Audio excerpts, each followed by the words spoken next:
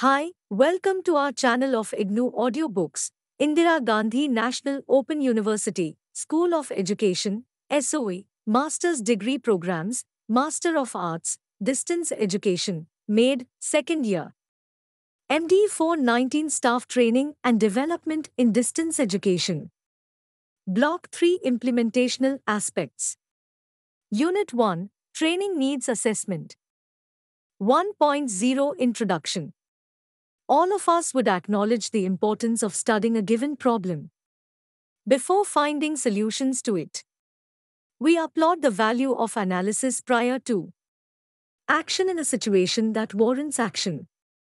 Irrespective of the sphere of operation, be it an educational institution, a corporation, a government office, or a social service agency, in the context of training, that initial Pursuit of information about the situation is often called needs assessment. But what is needs assessment? How should a trainer think about needs? Assessment in order to plan and execute a useful one?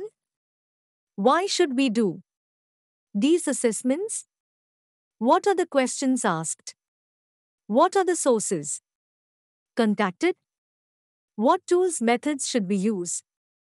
These are some of the Questions that we need to address ourselves to before we actually conduct a training program. In this unit, we shall discuss some of these issues and aim to relate them to the context of distance education. 1.1 Objectives After reading through this unit, you should be able to times explain the reasons for conducting training needs assessment TNA in general Times comment on the various methods used for TNA and their advantages, disadvantages, and Times carry out a training needs assessment when required in your organization or your own functional areas. 1 point to reasons for needs assessment. There are a few purposes of training needs assessment, TNA.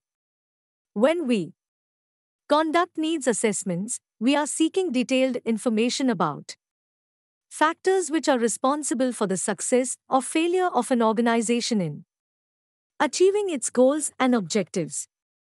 We shall consider some of them here. Times optimal performance, it involves asking such questions as what is it that the exemplary performer knows and does that exemplifies success? How should a course writer use a computer, for example? What is it that a counselor must know about assignment evaluation? What is involved in producing self instructional print, audio video packages? Similar questions must be asked about the performance of all other functionaries in the system of distance education. Times actual performance, it entails asking varying questions such as what does a course writer do that makes the learning materials self-instructional? What do the counselors already know about assignment evaluation? Why does the management think there is a need for training? What are the employees doing or failing to do? For this purpose, we usually would seek the help of records of employee performance, insider outsider observations, employee self appraisal reports, etc., and compare their actual performance with the optimal performance aimed at in every functional area. Times feelings. As trainers, we would want to know how trainees feel about the topic for training, the significance attached to the topic, and the level of confidence the trainers have in handling the topic, their human attributes as trainers, and the overall impact the training programs have on the trainees. Of course, this is an evaluation exercise, but it would inform us to redesign our training to meet the training needs more effectively in future. TNA further helps us identify the causes of performance problems on the part of the trainers. One can attribute various reasons for performance problems. We can categorize them as under I. Lack of skill or knowledge. Even if one wanted to perform better, one just couldn't do it. For example, if one lacks the knowledge essential to writing behavioral statements on performance appraisals or retrieving data from the computer but attempts to impart training in those very areas, the outcome is easily predictable. 2. The environment. It is possible that trainees may not have the tools, forms, or workspace necessary to perform a task. The classic example is the computer that keeps going down or the purchase of a new but inferior video editing board. In this situation, even the ablest trainer cannot perform well. 3. Few or improper incentives. What are the consequences of doing the job badly or not doing it at all? Perhaps the production of quality materials has been ignored in the past, or the failure to respond to student needs likewise has been ignored. Do hard workers get loaded down with additional work assignments? Questions of these kinds would tell us about the training policy of an institution. If the institutional policies do not spell out the rewards and punishments related to performance, however much you try to train the staff in any area, the attitude of the staff towards their work will be one of indifference. 4. The unmotivated employee. Traditionally, we think employees are motivated on the external circumstances and by an inspiring environment. If the emotional and attitudinal domain of the employees are not positively disposed towards the tasks they are asked to perform, then the motivation of the employee slides down and eventually disappears. If the motivation of performers is to be sustained, they must first be convinced of the purposefulness of their action. For example, you are training tutors or counselors through teleconferencing, which involves a lot of preparation at an enormous cost. During the performance, you discover that there is no audience at the receiving end. This is sufficient to demotivate you completely and convince you of the futility of the act. Not even a master trainer can sustain his her motivation in this situation. Obviously, we have not listed all the factors here.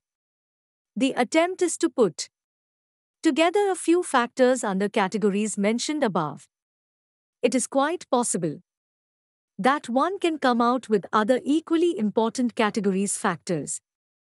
1.3 Identification Process A systematic analysis identification of training needs involves three processes A. Organizational institutional analysis, B. Role job analysis, and C. Individual analysis.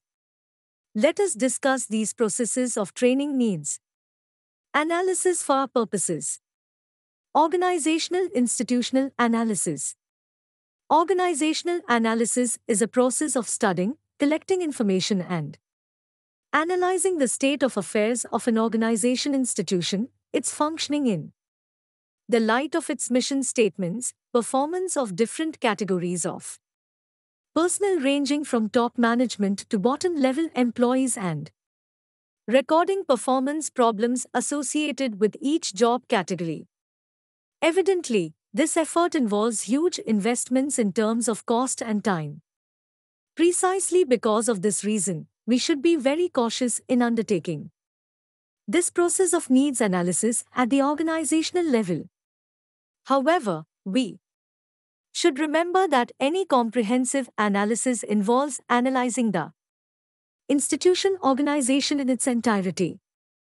Usually, this takes place when the institution concerned desires to prepare a comprehensive training policy for the entire institution. It is, however, customary to identify certain problem areas or individual units within the institution for training needs analysis. This mainly depends on the mindset of parts making the whole it is possible that it does work sometimes. But, identifying needs or particular Units or personnel in isolation may result in the problem of incompatibility. A. Tension between the parts identified and the institutional objectives. Mandates as a whole. So, we should keep in view the following aspects.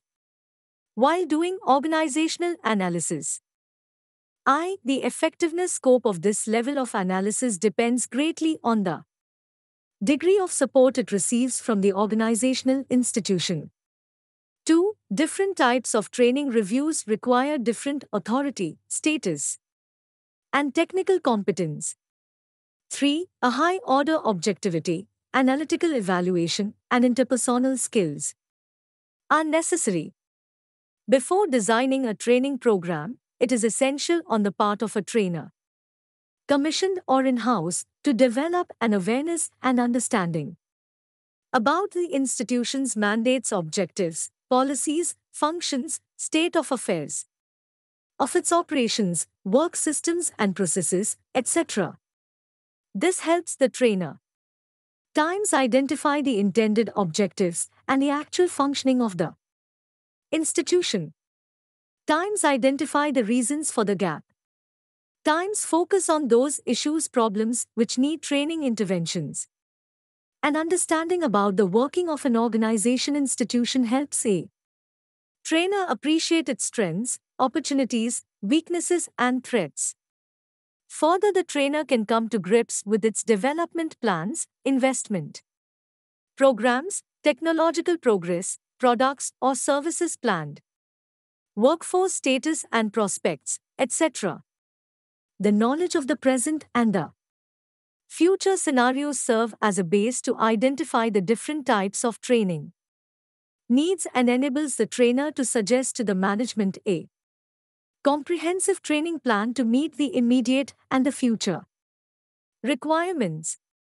Organizational analysis, thus, is basically a process of studying and collecting information on the various aspects related to an institution's functioning with a view to finding out its training and development needs. Normally, we can conduct this analysis using the methods of observation, discussion, and interview or by referring to documented information. We shall talk about these methods at a later stage in this unit. The systematic conduct of organizational analysis is essential because the analysis should provide objective and professional advice on human resources development. This should in turn provide the basis for the top management to decide the nature and extent of the role of training in achieving the organizational objectives. We have given below a few guidelines to such analysis. I. Detailing the objective, scope, terms of reference, and duration of the analysis. 2. Obtaining the authority to access relevant information from files and documents on various personnel. 3. Soliciting the cooperation of colleagues, employees at different levels and clarifying the purpose of the analysis and in the process dispelling their suspicions, if any. 4. Giving advance intimation regarding the time of visits, etc. We, collecting information regarding institutional objectives, policies, and functions mandated and actual. 6. Identifying external environments that affect the functioning of the institution, including socio-demographic features, economic profile, government policies, market forces, competitive conditions, infrastructural facilities, etc. 7 assembling all the information collected, correlating one information with the other and interpreting it to find performance problems at different levels. 8. Cross-checking the information data collected, if inconsistencies, discrepancies are deducted. 9. Finalizing the analysis report indicating various training requirements in order of priority. What is important in this process is to harmonize the training needs as perceived or felt by individuals with those of the institution. A judicious synthesis between the two is immensely beneficial or both the institutional Growth and individual's career. We shall elaborate on this. As institutional training needs analysis would reveal various job positions requiring training intervention. We can select these job related tasks and carry out a training need analysis oriented to these specific tasks. Once we conduct this, we will more often than not come across the level of performance of individuals. An institution, in our context, a distance.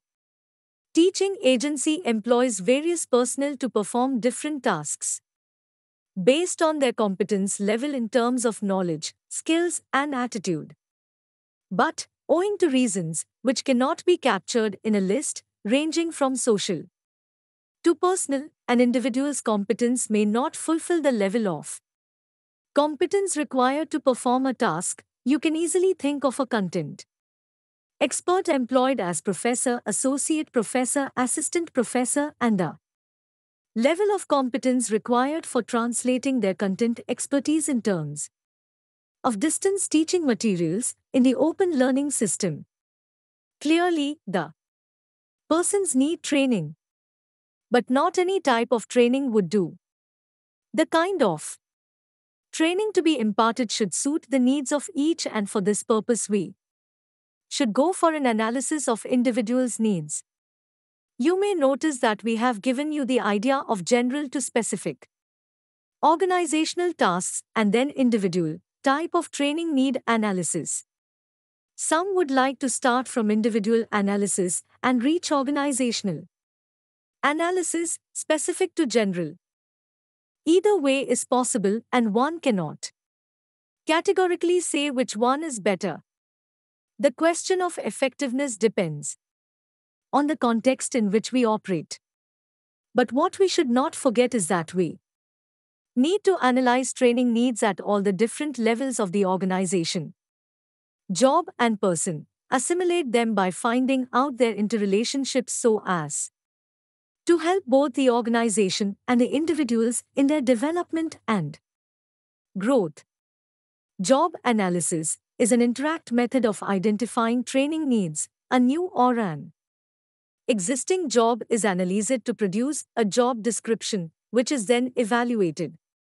The gap between the job description and the knowledge and skills of the current incumbent or the new employees becomes clear, which helps design Individual training programs. As is obvious, this method identifies the needs of the individual and the specific job, rather than institutional needs. Further, the job description we arrive at may quickly be out of date. At this stage, it is useful to think of the need in terms of output rather than input. Usually, as mentioned earlier, we express a need as a gap, weakness, or Lack of something.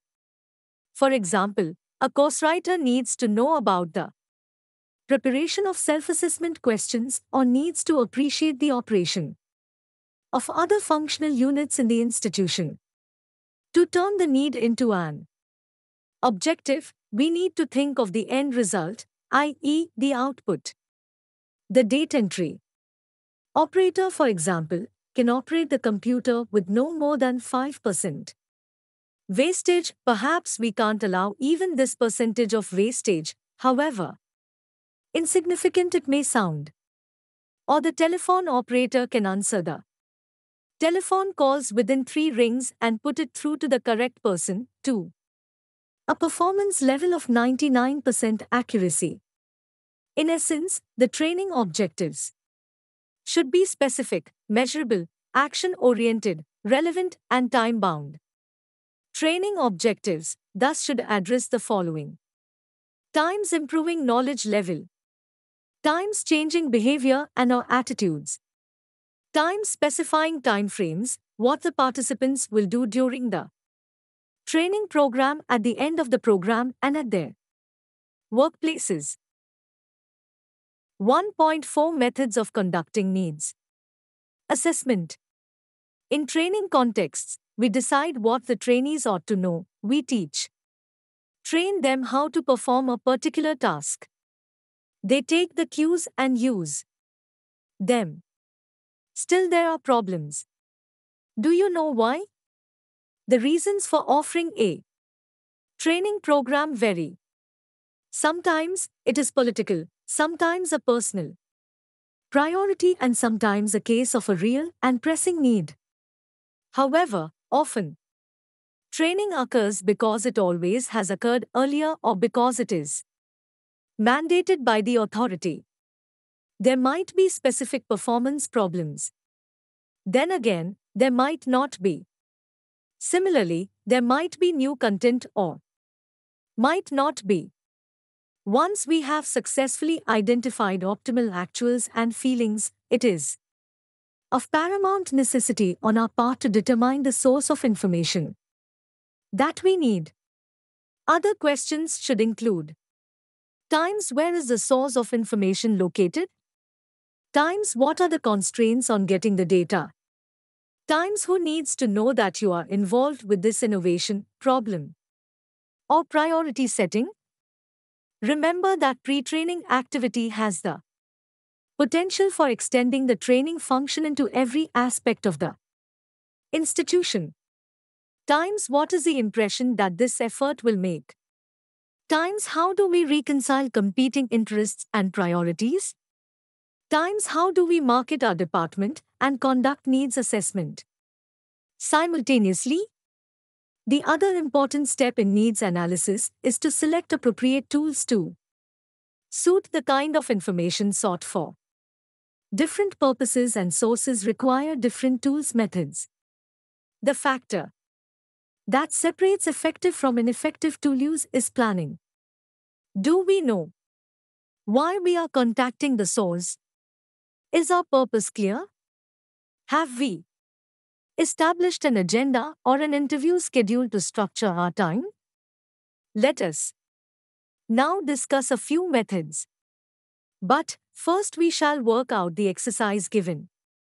1.4.1 Development Centers Development centers in some countries function as service agencies to carry out needs assessment on request from a client, i.e., an organization, institution, they use a variety of assessment techniques to ensure the widest possible coverage of skills and attributes. The method used usually is multidimensional in that the technique includes individual group, oral, written and psychometric tests, as well as personality and career interest.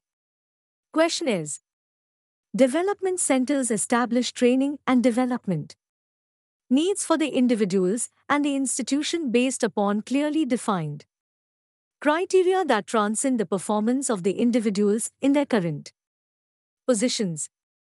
Further, a development center designs assessments against clearly identified criteria for specific groups within the institution so as to effectively meet the requirements of an institution. Establishment of Development centers within the organization is an expensive affair and may sound too complex for a small organization. In distance education institutions, the centers for staff development and research are usually assigned the above responsibility. 1.4. To Human Resources Audit This is simply to look at the number of employees within the institution and their location within its structure, detailing their age and the number of years in their current post. Once the details are collected, we are to make comparison between the number of employees required for the future, usually for the next 1 to 5 years. The analysis will identify the number of vacancies arising through retirement and natural wastage, potential promotion opportunities, etc. Used in conjunction with future plans, this exercise will help us identify where there will be serious shortages of resources, potential problems, etc., leading to chalking out plans for training and development which will meet future needs. This is an oft practiced strategy. The process is fairly simple and cost effective because the sort after information is easily accessible. However, it is mostly resented in academia because plans are often seen as orders. This can easily be overcome if the top management interacts with the resenting groups and impresses on the need for it. 1.4.3 Interview Interview is the most commonly used method for needs assessment. This method requires, first of all, identifying the persons to be interviewed to ascertain their training needs. Usually, the interview method is used with senior officials or employees who have unique roles within the institution and who have also specific training and development needs unique to them. However, interviews with a cross section of the employees are essential to get a clear picture of the situation and the training needs. There are two types of interviews structured and unstructured or open ended. A structured interview uses a number of prepared questions as opposed to the unstructured one, where the direction of the discussion is not controlled rigidly. Through interviews, we can easily identify both real and perceived needs. This technique has drawbacks as well. For example, in an unstructured interview, the outcome will depend upon the direction of the discussion, which may leave out areas of critical importance. Contrastingly, in a structured interview, the outcome will depend upon the questions asked of the individual, and some areas again may be missed. More importantly, the interview provides a subjective view of the individual in areas discussed, which he she may consider difficult, and it requires the skill of the interviewer in probing those areas and eliciting relevant information. One may conduct an interview scheduled either face to face or at a distance. Say, for example, on the telephone. But it strictly depends on the purpose. Within the needs assessment process, consider the table 1.1 just to get an idea about the purpose.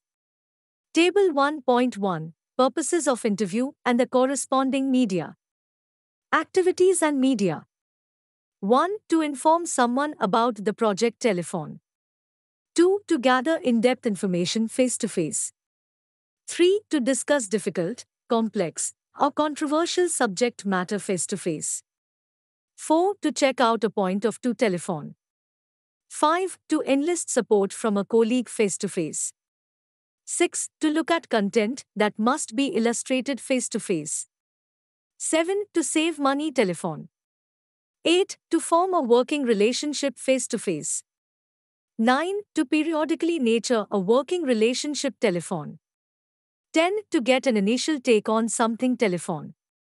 11. To get information from many people telephone. 12. To get information from a few key individuals face to face. To reiterate, the mode of interviewing largely depends on the purpose for which it is conducted. 1.4.4 Observation We can use observation schedules to look at any job. It involves a trained observer observing an individual on job for a day or more over a period of time. Observers can either monitor the person for short, 2 or 3 hour periods and then make notes or have a structured checklist in which they will make notes against agreed criteria. This method can identify areas other than training needs, for example, inefficient working ways. This method requires an observer who is trained in the method.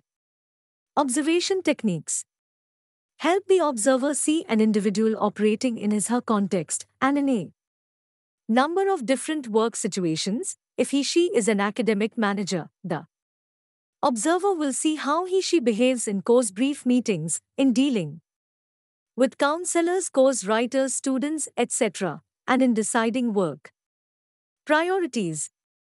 The drawback of this technique, however, is that anyone observing another person is bound to influence the way they react. Therefore, the observation has to be done over a period of time. Further, it is time consuming and can be seen as disruptive by the individual being Observed. Observation Schedule. It is a highly acclaimed front end tool. But, some have reservations about this tool as well, for which the main reason is the belief that observers alter employee performance. Thus, observation is a less effective tool for gathering information about actuals unless we are working incognito. But then, it may be professionally unethical. Observation is, however, a very effective tool for seeking optimal performance. If employees know that you are observing, then their efforts will more closely approximate optimal performance. Observation schedules, more often than not, focus on behavioral processes and not on cognitive ones. After decades of a behavioral orientation to education and training, professionals seem to be now interested more in what an employee thinks about and knows that the work is being done. Very many times, interviews, not observations, get at the kind of information. However, observation provides information about what is really happening at work at two levels. The first level of observation seeks a broad gestalt. At this level, we get answers to questions of the following. Type, times what goes on, times what are the major components of the job, times what are the most frequently recurring challenges, times in what order do things usually happen, times what kind of information is shared, times what kinds of references or tools are relied upon, at the second level of observation, the trainer seeks such details as times what separates effective performance from ineffective performance, times what kinds of response attract clients, times which ways work best, times how are work areas arranged, times is there anything that coordinators of learning, study, centers are doing that appears to be influencing the quality of performance? Etc. However, the above questions may be relevant where the performance is physical or related to psychomotor skills. To get the information about the process of developing a self-instructional unit in print, for example, we have to change techniques appropriately.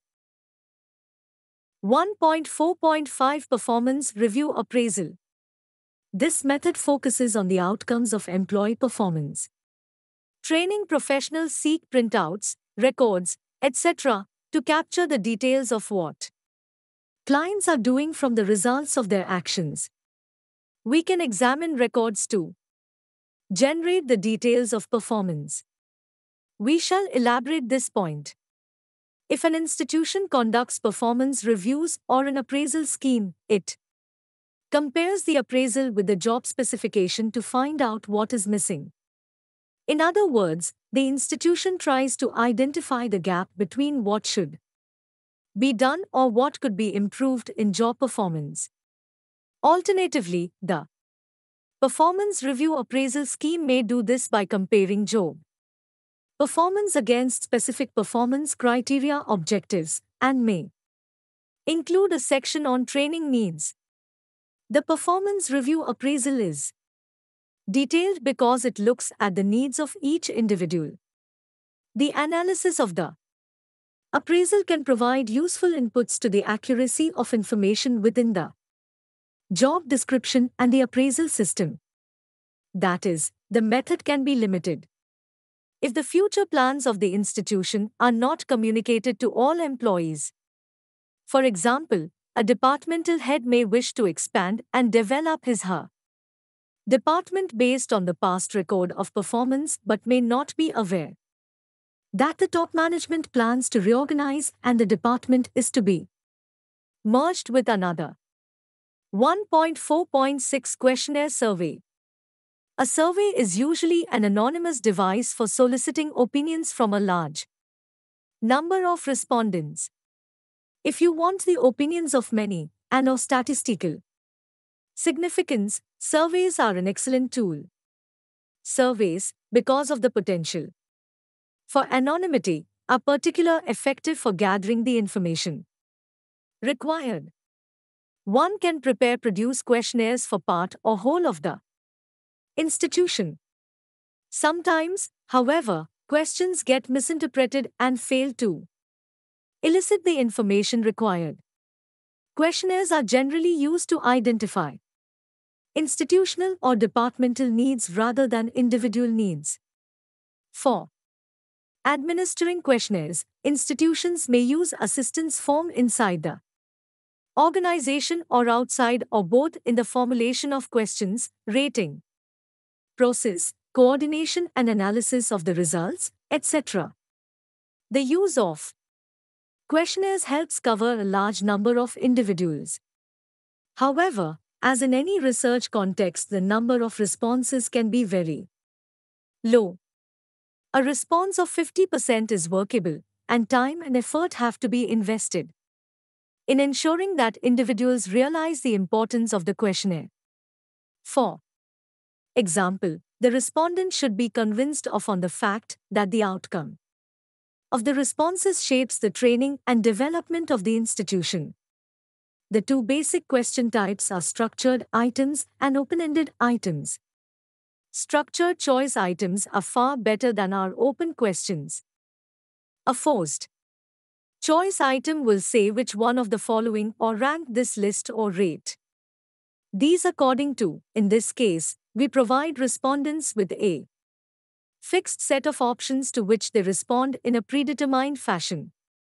1.4.7 Review of Plans A review of the institution's plans for the future gives valuable and necessary information in identifying the training and development needs. It is this information that will enable the priority in training and development to be established to meet future as well as current needs. The only reservation against the technique is that it cannot point to individuals' needs and that it cannot identify specific problem areas. 1.4.8 Desk Research Desk research is a review and analysis of external factors as well as internal. For example, assessing the level of new employees in the institution will help design training programs to meet their needs. It helps us identify the availability of formal courses, and obtain relevant information about them. Through desk research, we can review of the current training and development programs and ascertain whether or not they are still relevant to meeting the current and future needs. This can incorporate the techniques of human resources audit and the review of plans. It helps an institution keep up to date with outside influences and developments. Though cost effective and simple to do, like the review of plans, it is inadequate for identifying individual needs and so is limited in its application.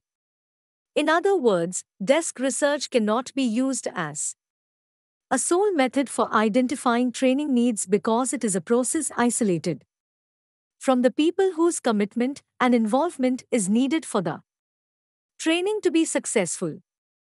1.4.9 Group Discussion A number of individuals within an institution may sit together to discuss specific issues. The individuals may be a team within a department or a number of officers at the same level.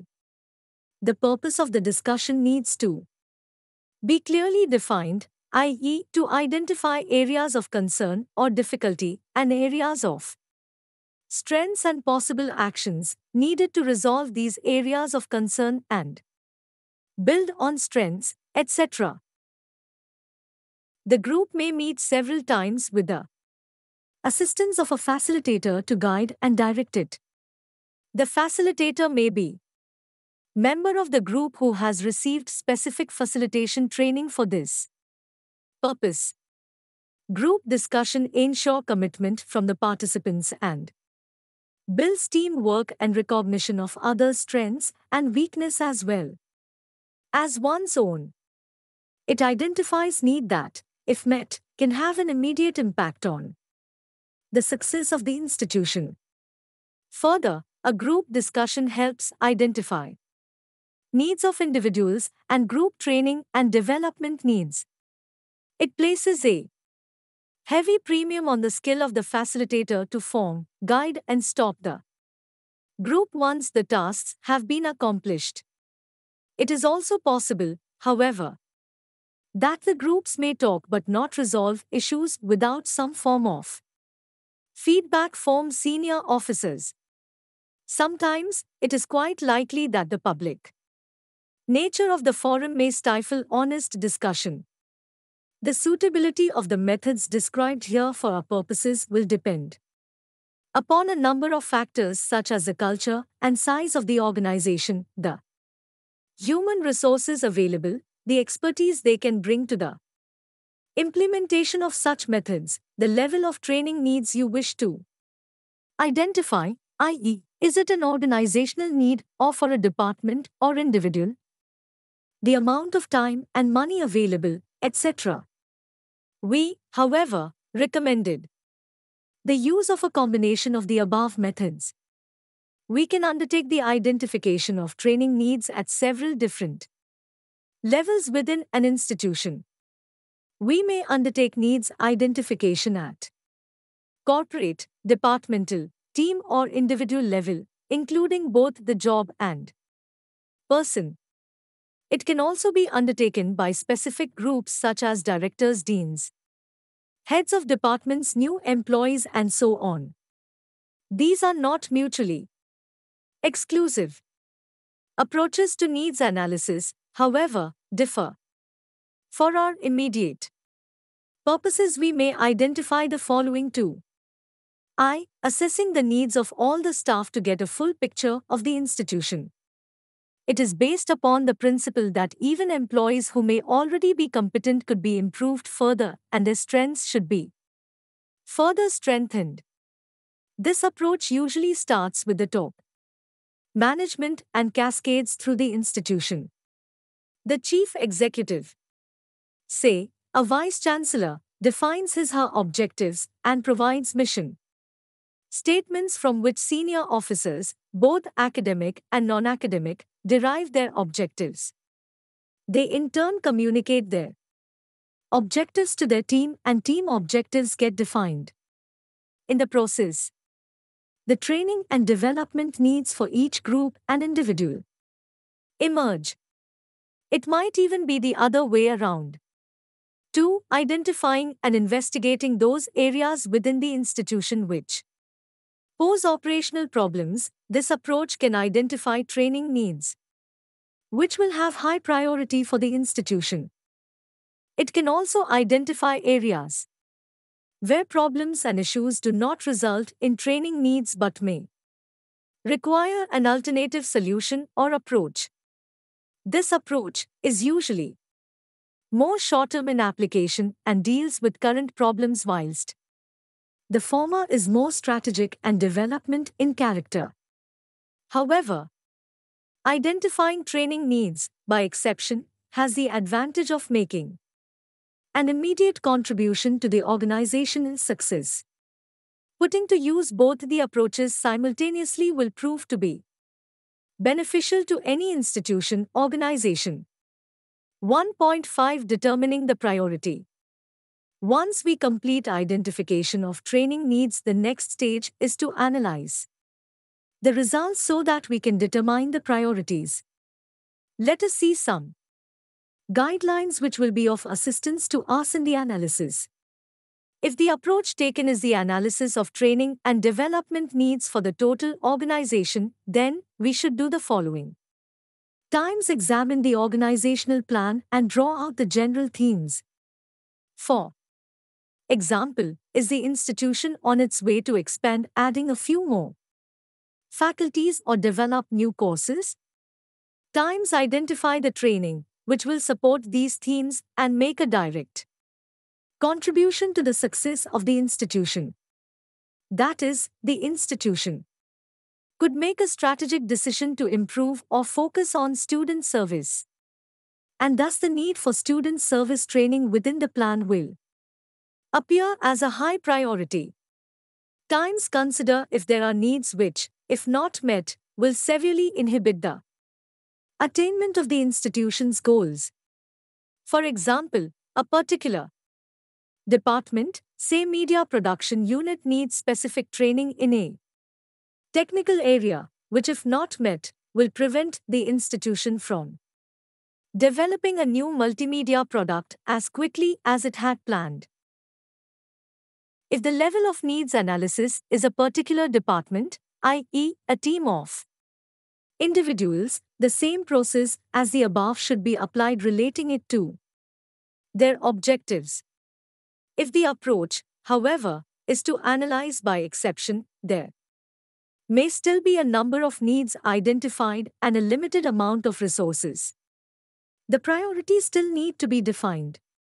If this is so, we should ask the question which need, when satisfied, will make the greatest contribution to the organization?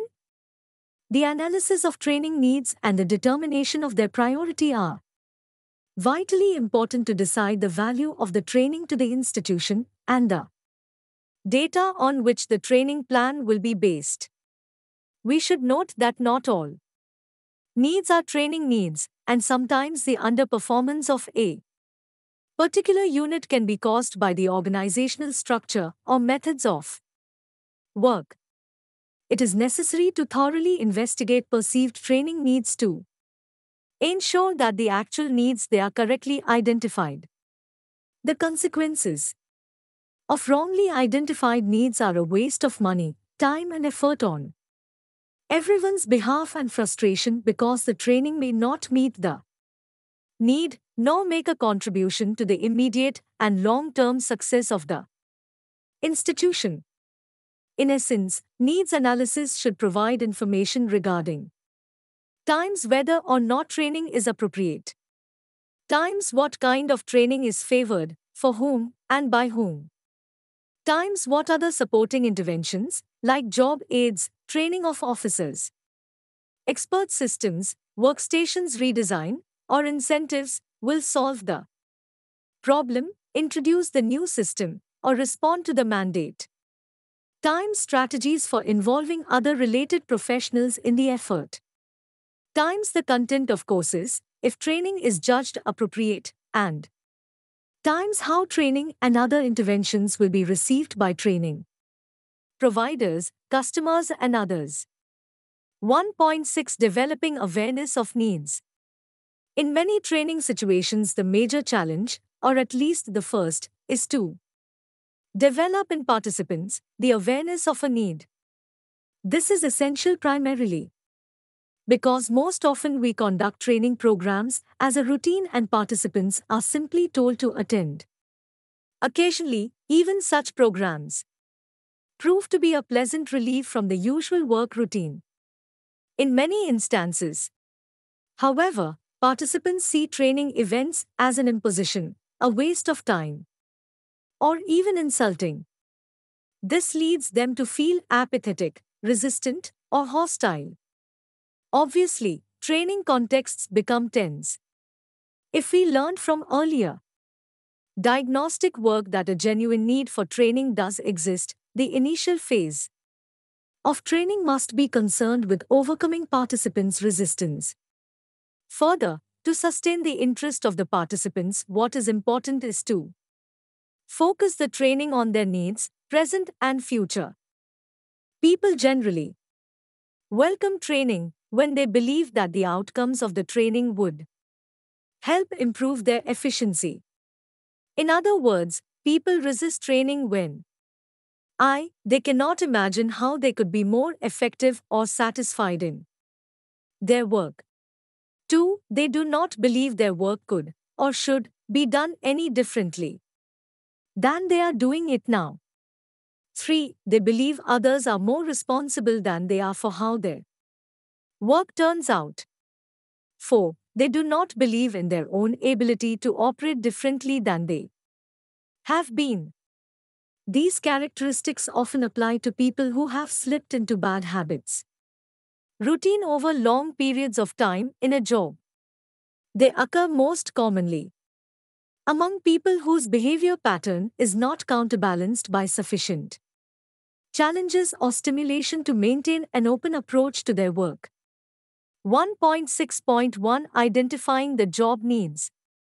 They may have come to identify the job and themselves with how they have been handling it, and their identities as a workforce are defined by what it does. In such instances, to acknowledge a need for change could be threatening. It would seem to imply that they have been doing something wrong all their years on the job or that they themselves are inadequate. Some would even see learning new skills as assuming total responsibility for what occurs on the job. Some others may resent the assumption that an outsider, i.e., trainer, knows something about their jobs that they themselves do not. More importantly, the general lack of faith in training, what is learned in laboratory conditions, may not be applicable to their field situations, would make some feel apprehensive about it. And this might be a strong cause for their resistance. Dealing with adults has yet another dimension too. Most of them may not have been in a training situation for a long time or a few of them may have done badly in their studies. If people have come from these situations, they may question their ability to do well in training. Context and fear imminent embarrassment or failure. If any one or a combination of these situations seem to exist, they must be taken into account if the trainees are to look at the training experience positively and optimistically. Our role as trainers is to facilitate the trainees to envision that things can be better on their job than they are now, that changes in their own behavior can lead to improvement, and that through the training experience they can be enabled to do what is necessary to move towards realizing that vision.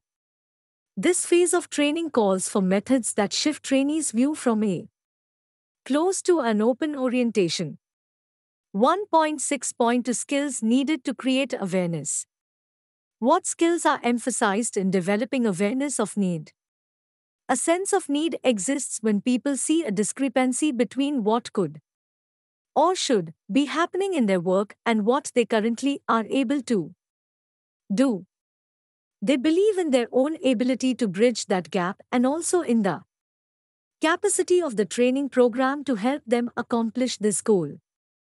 Those who come under this category have the qualities of self awareness, self confidence, and knowledge of what is possible in their work roles.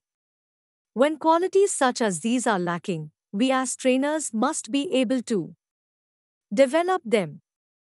Of course, it is easier said than done. For one, qualities such as these cannot easily be imparted, as they are essentially attributes which have to come from within.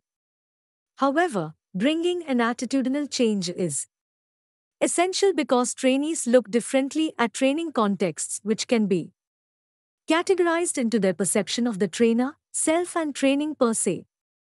The above mentioned points would make a lot of sense if you compare the roles and functions of academic and support staff of a distance teaching university with their counterparts at a face to face university. 1.6.3 Perceiving the trainer.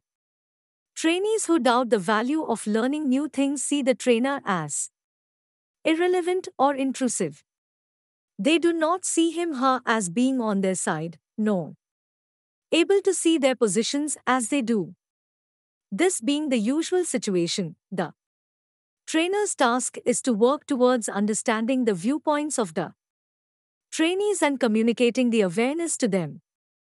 This role of a trainer in such situations is of paramount importance.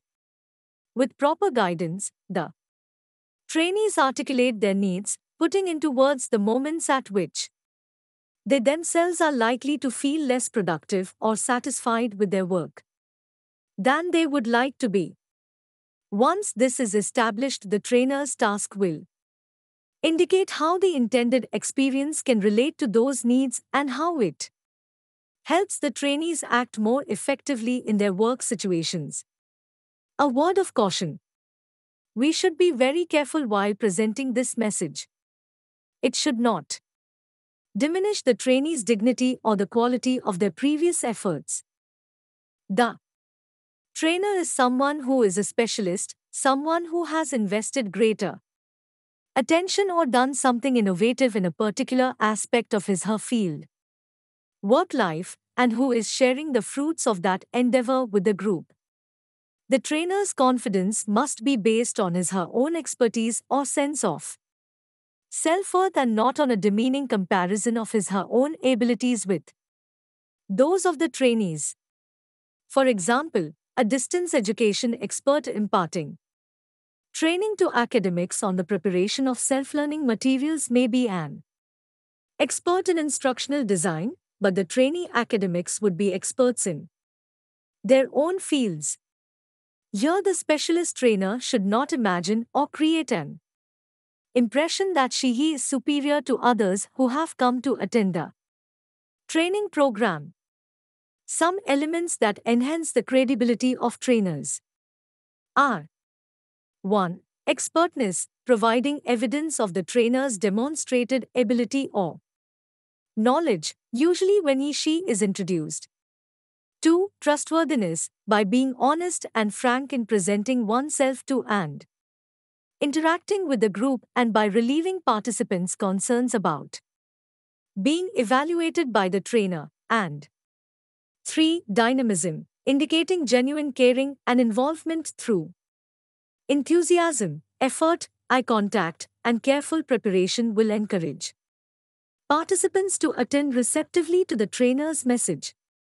1.6.4 Trainees' Self Perception When trainees see how a program fits into their lives and see some benefits and success for themselves emerging from it, they are most likely to value and invest in it. Sometimes, these possible outcomes are clear to them. Sometimes we must clarify them as part of the training program itself. We can motivate the trainees extrinsically by highlighting the rewards. Training can bring and intrinsically by encouraging them to identify values within themselves which they can satisfy through the training. To further the discussion, extrinsic motivation grows as the outcomes of training become clear and appealing to participants. We can enhance this process by specifying the training objectives as concretely as possible and by doing so in ways that relate to how the trainees can make immediate use of them.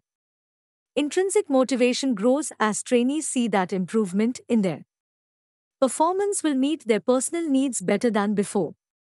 1.6.5 Training The way we plan and execute training programs affects the involvement of the trainees. Learner controlled instruction, LCI, is immensely helpful in making a training program effective. This is based on the premise that learning has a quality of personal involvement and it is self initiated. LCI approaches the learner with a clear statement of objectives to be achieved and explanation or sample of the evaluation that will be used to demonstrate satisfactory achievement of the objectives, a list of the resources, materials, activities, and people available to help the learner master the objectives. This list may be referred to as a learning map since it describes useful stopovers on the route form the trainee's position at the start to his her ultimate goal. Once the basic parameters of the training are established, we should provide the learners with opportunities to make decisions regarding several aspects of the training. This should include time spacing. Some learn slowly than, but ultimately, can do just as well as others. Time sequencing, when particulars are allowed to determine where to begin their work and how to proceed, they often can make more individually appropriate decisions than can a trainer who is unfamiliar with their backgrounds, and interests. Times problematizing, training inputs should contain the trainee's own problem situations. When they are asked to report on what they found, to be worthwhile in self selected reading when they suggest topics for group discussion, etc., they would see training as directly relevant to their needs. Obviously, a trainer in this situation takes the role of a facilitator. He she mediates between the learner and the resources available, which can include printed materials, audio-video aids, case studies, field trips, and so on.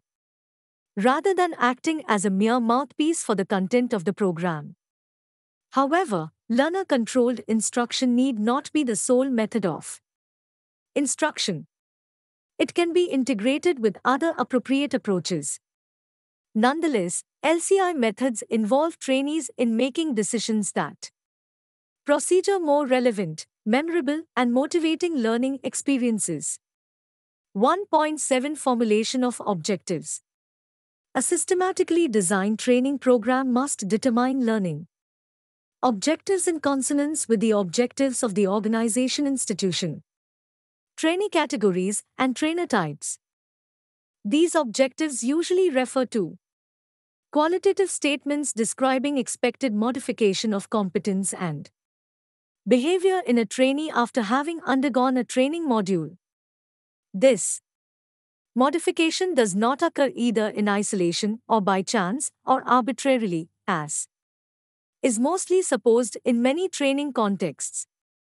A systematic approach to training warrants meticulous planning at every stage. Training objectives serve as a standard specification of an output to which the trained Behaviors must conform ensuring the quality of the product after training. This is of strategic importance not only because it defines and controls quality of products but also because it substantially influences all the subsequent stages of the training system. A statement of objectives serves as an end towards which we should direct our entire training activity. In fact, we develop statements of objectives on the basis of each identified training need. Since mostly, more often than not, we carry out training need analysis in terms of knowledge, skills, and attitude. Training objectives also tend to fall into these categories. We shall look at a few of them here. 1.7.1 Cognitive Objectives knowledge component of training is more educational in nature and develops the perception and understanding of the trainees. Cognitive objectives provide the trainees with the required knowledge understanding of subjects, situations, procedures, etc., which are considered necessary to perform a task job. But they interpret and apply this understanding in their own way to specific situations. The implication is that cognitive objectives are less amenable to behavioral expressions and the behavioral outcomes are unpredictable. Knowledge inputs to achieve cognitive objectives are of complex nature. Since knowledge inputs like theories, principles, etc., are derived from different sources, they may reflect ambiguity and divergence of opinions which are more common especially in the field of social sciences. Creating the problem of uneven understanding which adversely affects but conceptual and theoretical knowledge certainly broadens the outlook and mental horizon of the trainees and stimulates their analytical, critical, and comprehending faculties. These materials also indirectly but favorably influence the skill improvement process as well as develop for positive attitude. Thus, despite certain limitations, cognitive objectives serve useful purposes in differing degrees. For example, they are highly unstructured and require more of knowledge inputs of diverse fields like conceptual, behavioral, technical, analytical, and communication than those of skills. 1.7.2 Conative Skill Objectives The concern of conative objective is with the formation of improvement of know-how, art of doing things or methods of job performance.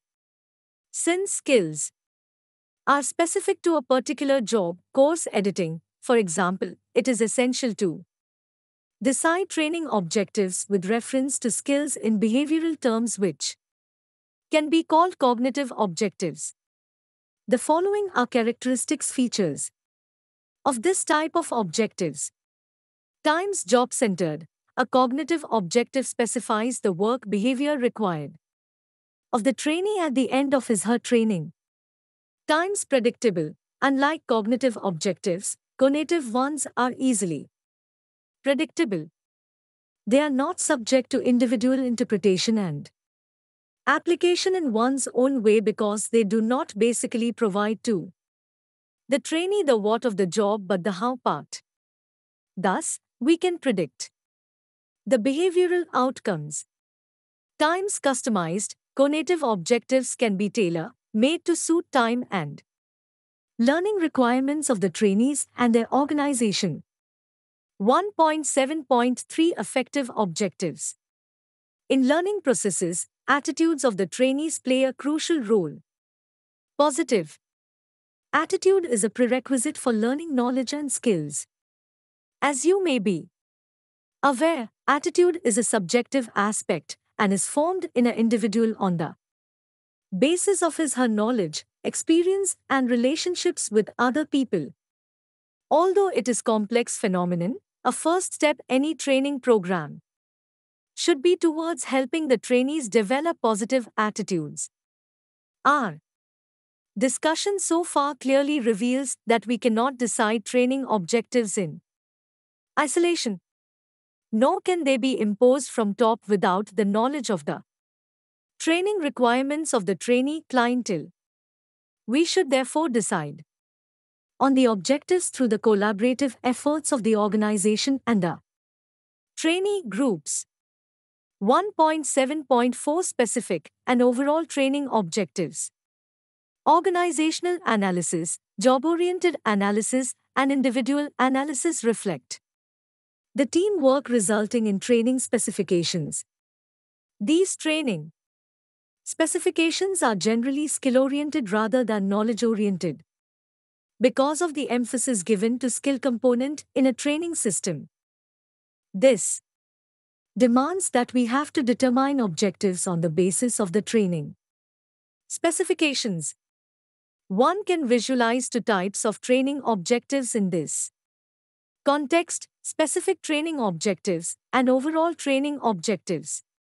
The former may be defined as a statement of ideal or standard specification of Performance in line with each training specifications for which a trainee gets trained. Thus, there will be a series of specific learning objectives depending on the number of items under training specifications. Each of these objectives acts as a criterion behavior in the learning process of the trainee guiding the trainer to use it to facilitate learning. After the learning experience, trainees must be able to demonstrate standard performance as per specific learning objectives, and any differences will indicate deficiencies in the training. As the name suggests, these objectives should be specific, concrete, tangible, and measurable, facilitating time bound result. Writing of specific Learning objectives denoting expected behavior modification in respect of. Each skill or task gives an exhaustive list of signposts that guide the trainer. We can treat overall learning objectives as key objectives which intend to guide the overall results a training program has to achieve. We may regard the overall learning objectives as statements of major commitments, critical performance and overall outcome to be achieved fulfilled by synchronizing specific learning objectives. Thus, they constitute expected results of training.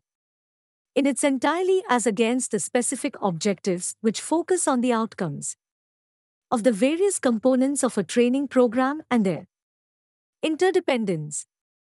As we are aware, training objectives may denote two aspects, quantity and Quality. As the term means, a quantitative objective concerns with the Number of persons to be trained during a particular period of time at a particular cost. In contrast to this, a qualitative objective is associated with the standard of competence to which the trainee will be trained. We should note here that training is an expensive proposition which, therefore, must strike a judicious balance between quantity and quality. Both aspects are important for a training program and they are not mutually exclusive. You can easily relate the foregoing analysis of training objectives to training situations in distance teaching institutions. You can formulate objectives of the above types when you design training programs for course writers, tutors, counselors, support staff, administrators, and the regular academic staff themselves. Depending on the priorities of training, you could set the objectives specific to each category of staff, each situation, and each task to be mastered or each behavioral change to be effected. Besides systematic planning and careful execution of a training program, the importance given to it by the institution of the trainees too will determine how best the objectives are achieved are well planned and systematically conducted. Training can also fail to achieve its objectives if the trainees treat the training program as a pleasure trip or their institution treats it as a mere ritual, devoid of any serious purpose. 1.8 Summary Before one actually gets down to the business of training, one should be very clear about what exactly the trainees need in order that they function better in their workplaces once the training is over. In essence, training needs analysis is of paramount importance in the training design process. And this exactly is the focus of the unit. In this context, we have discussed the rationale for and the processes involved in carrying out training needs analysis. This unit, as a consequence, presents various sources and tools for identifying needs, prioritizing the needs, and designing a training program. Accordingly, are also important.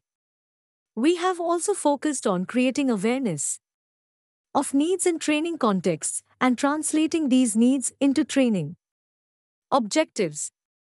All these are essential for ensuring the effectiveness of training. Thank you. Subscribe to our channel for more updates, and we will see you with the next chapter.